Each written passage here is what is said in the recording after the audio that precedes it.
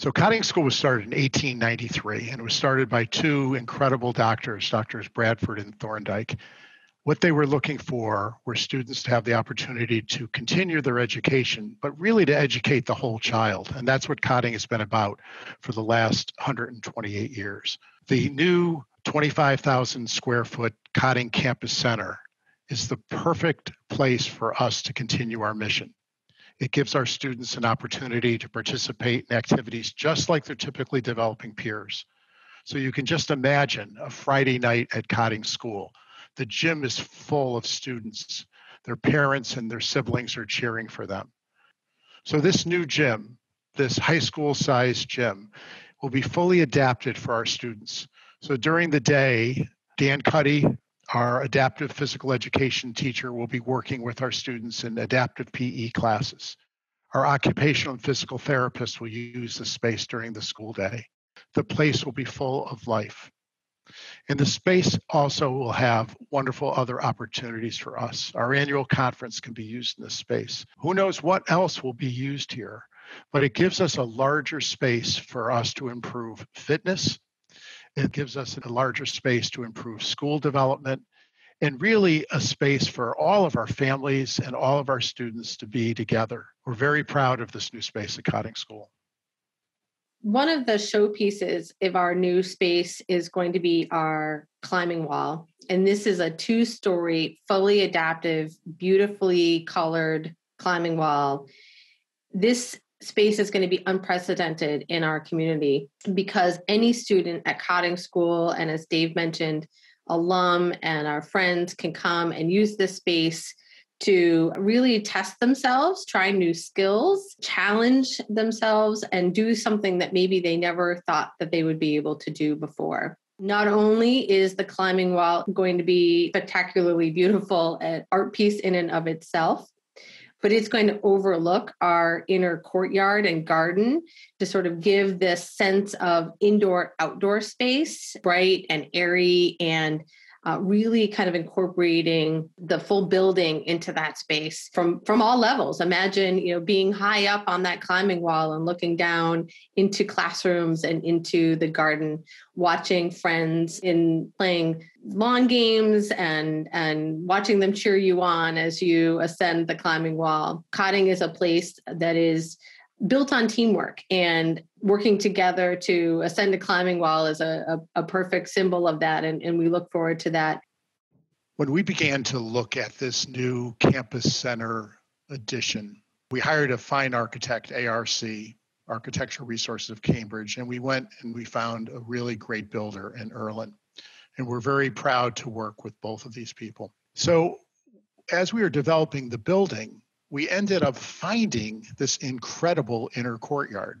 It's space that had been there before, but had never been used in the way it's going to be used. So there will be an inner courtyard open to the sky where our students could come out during the day, find a quiet space for a conversation. You can imagine our uh, speech pathologists sitting outside on a wonderful warm spring day on a bench talking with one of our students. You can imagine circle of friends, kids playing cornhole out there on a Friday night. You can imagine our students planting with the indigenous plants that will be there and having these beautiful trees in color year round. And looking back onto classrooms or looking the other direction up a hill into the new gym. So, New England has this wonderful tradition of candlepin bowling. So, we decided that we would develop two candlepin lanes. So again, our students could have some wonderful activities, some real skill development, some teamwork, and really math skills too. Uh, when it was proposed that we had an automatic scoring system here, we said, no, we're a school students do math here, so they'll be scoring on their own here. It'll be a wonderful place for our alums, our students, our staff to use, and you can just hear those pins falling and cracking and rolling over, and you can hear the cheers of our students in this wonderful new space. So students could have after school activities here, evening activities, and you can see, you can imagine a, a bowling class and our adaptive PE. We're very proud of this new space. So, as we continue to tell you, this space is a space that we envision to bring people together. Cotting School is a regional school. We have students from 75 different cities and towns.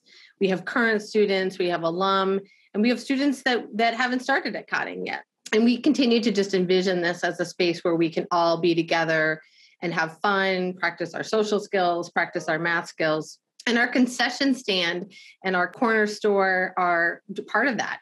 Uh, again, using math skills and customer service skills in a real life experience to sell goodies and cotting swag. The other nice thing about our concession stand and corner store spaces are they're really surrounded by some wonderful seating areas. There's a external courtyard on the second floor that peeks out over the courtyard.